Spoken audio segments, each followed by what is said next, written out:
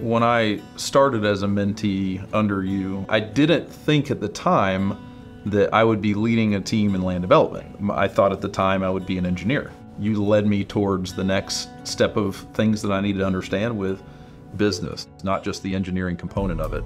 Very early on, it was apparent to me that you were a natural leader. When you started, you didn't see yourself as that. Whereas to me, I, from the get go, I even knew then Grant's going to be a leader. That's your greatest skill to me.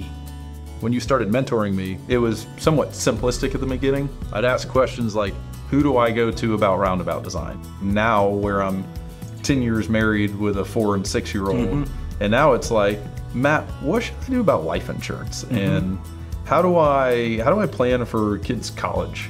Yeah, it's, it's definitely evolved, and over time, it's become more of a peer relationship. It's very rewarding to be a mentor, and it is super satisfying to see how you've grown.